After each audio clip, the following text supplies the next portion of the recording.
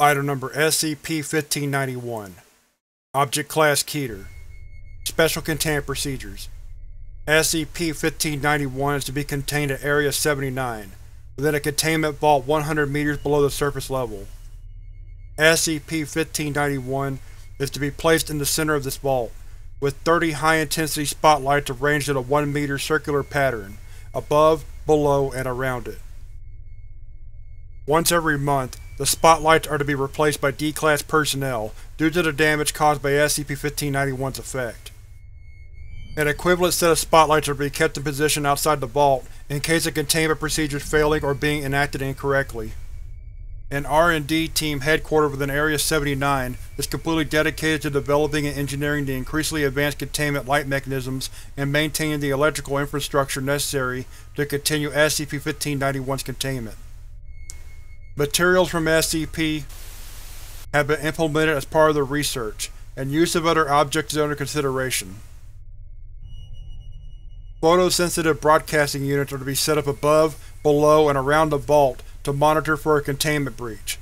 If any photosensitive broadcasting unit cease to function, surface teams are to prepare 75 high-intensity spotlights with an intensity 600,000 lux greater than SCP-1591's intensity, to cease the expansion of SCP-1591's effect. In the event that containment is breached, O5 Command is to be alerted to the possibility of an XK-class end-of-the-world scenario.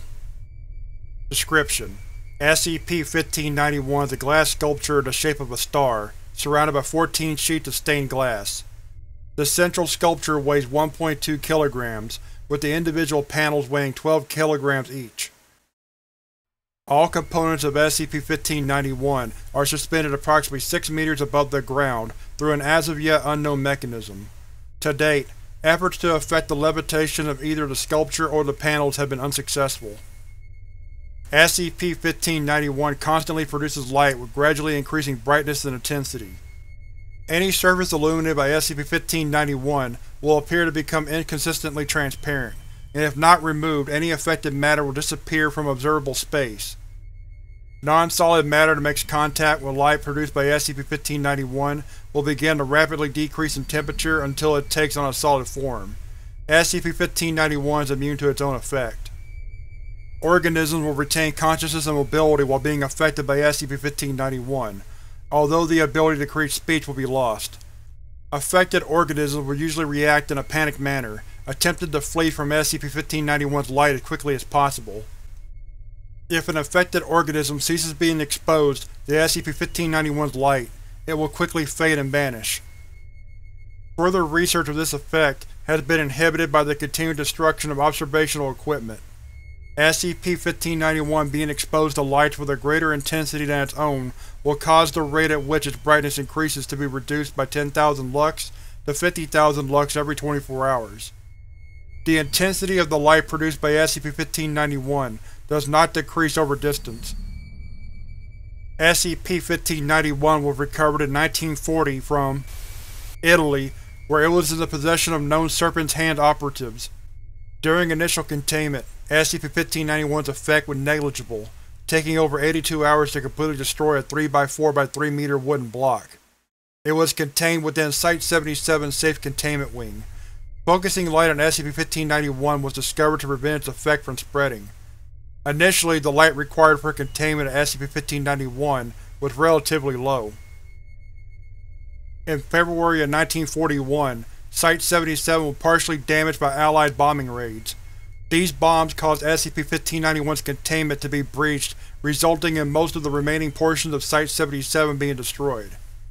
After control of the facilities re-established, SCP-1591 was discovered to be significantly more hazardous and reclassified as Euclid. A second containment breach resulted in Site-77 being severely damaged and the loss of personnel. Addendum May 19, 1941 Several documents relating to SCP-1591 were recovered by Mobile Task Force Sigma-3 bibliographers from a location inhabited by members of the Serpent's Hand. These included photographs, diagrams, and documents. One example has been included in this report. War with Elrich. We have been at peace for almost 568 years, but they have decided to declare war upon us. The Verderers tried to assure us that we would be defended, safe from the King's wrath. Killed. All killed. I saw little boys strung up by their backs, snapping in half as they were wrenched up towards the stars. Women were struck down the streets, lanced and stabbed until they begged to die. Men who fought back were blinded and made lame, then displayed proudly in shop windows. My mother was shaved, boiled, and eaten by a pillaging group of warriors. It was pure decimation, far beyond what had been necessary to bring vengeance to their kingdom. When the heavens saw this, they cast their eyes away, disgusted by the Elrichian carnage. The heavens cast themselves to earth. They could not stand to watch any longer, and soon they were falling every moment.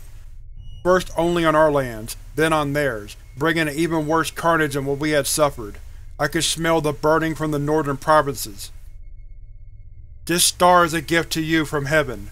In the right hand it will be a tool to bring down senselessness, but do not forget its origin.